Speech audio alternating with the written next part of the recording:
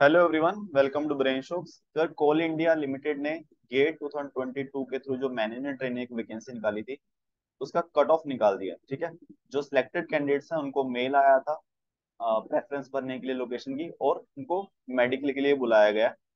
और अगर बात करें कितने कैंडिडेट्स को बुलाया है वन रेशो वन टू में बुलाया गया। पहले एडवर्टाइजमेंट में अगर देखें, लिखा था उन्होंने वन रेशो थ्री को बुलाएँगे।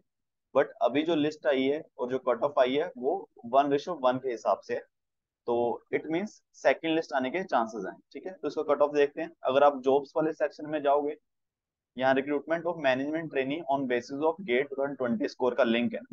और इसको खोल लोगे तो आप ऐसा आएगा। देखो, यहाँ पे सारी डिटेल है, जो भी गेट वाली रिक्रूटमेंट है डिटेल एडवर्टाइजमेंट है, फिर जो जो अपडेट आ रही है, यहाँ वो अपडेट कर देते हैं, ठीक है? तो देखो discipline wise cut off marks तो यहाँ पे चेक करोगे, देखो माइनिंग सबसे पहले।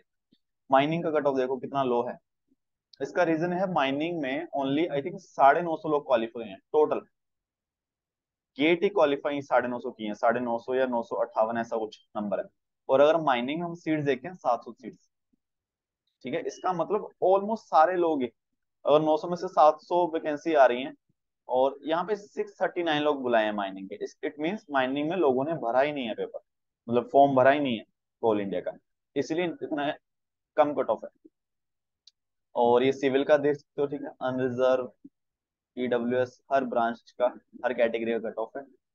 और अगर इलेक्ट्रॉनिक्स में बात करें, सिविल में पूरे लोग बुलाए हैं। इलेक्ट्रॉनिक्स में 721 है स्कोर अनरिजर्व का, ठीक है? इसका मुझे आइडिया है गेट स्कोर अपना रैंक जो है वो 220 या 230 इसके बीच में है, ठीक है?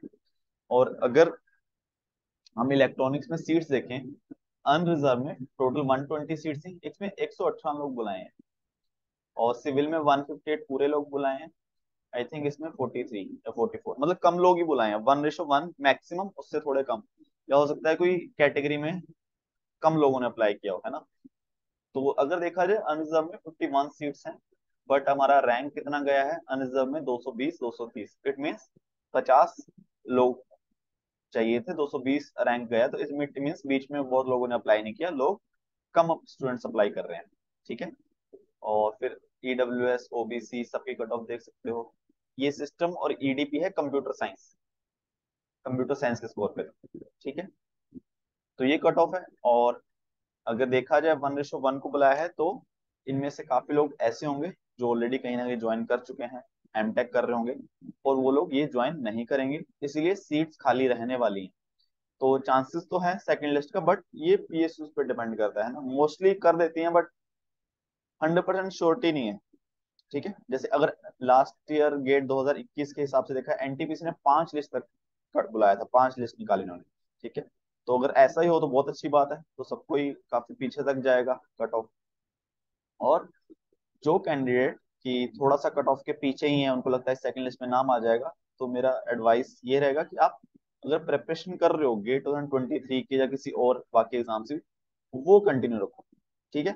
आप ये मत ये देख के मत प्रेफरेंस छोड़ दो कि सेकंड लिस्ट में नाम आ जाएगा। बिकॉज़ ये प्रोसेस काफ़ी लंबा हो जाता है।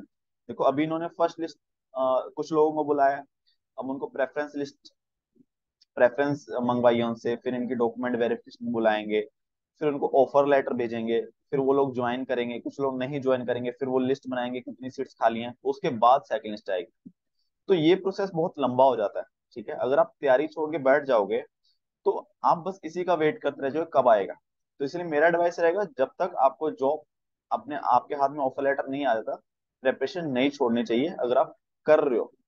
अनलेस अगर आप आईआईटी में हो ऑलरेडी एमटेक कर रहे हो, वहाँ पे हो, तब प्रेपरेशन छोड़ दिए फिर वो अलग बात है। ठीक है? तो सेकंड लिस्ट आनी चाहिए, बाकी देखते हैं। और इसके अलावा कुछ डाउट हो कमेंट कर देना वीडियो को लाइक करना एंड चैनल को सब्सक्राइब कर देना। Thank you so much